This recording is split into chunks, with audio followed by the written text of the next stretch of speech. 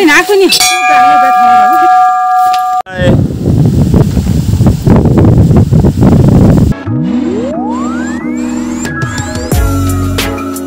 Hello hi नमस्कार दोस्तों, स्वागत है आपका आज के ब्लॉग में।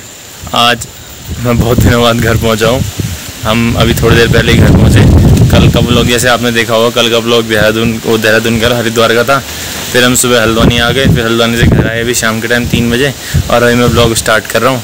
और यहाँ हवा बहुत तेज़ चल रही है। आपको जैसे बैकग्राउंड में सुनाई दे रहा है। यहाँ पर धुंध का मौसम चल रहा है।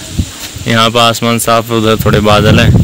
और सामने की तरफ़ शायद बारिश हो रही है। वहाँ बिल्कुल ही बिल्कुल ही डार्क दिख रहा है वहाँ पे। आज जो है आँसू दीदी अपने ससुराल जा रही है। उसको ले जाने के लिए जीजा जी आ रखे हैं।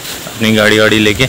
तो आज वो अपने ससुराल जाएगी। अब अब आज थोड़ा यहाँ घर पर काम भी करा था। जैसे हमारे पीछे देख सकते हैं। थोड़ा मटेरियल पड़ा हुआ है। और अभी वो लोग अपने घर जाएँगे। तो उनको पहले छोड़ के आते हैं, फिर का लोग और स्टार्ट करेंगे।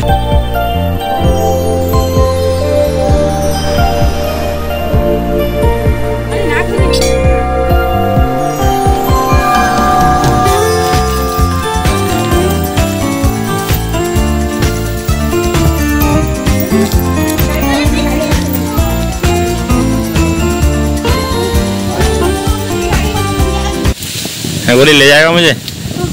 हैं? नहीं ले जाएगा?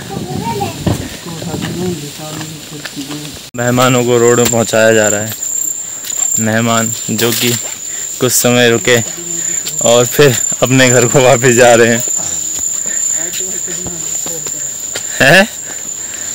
क्या कह रहे हो? खटी माँ की सैर कराते हैं?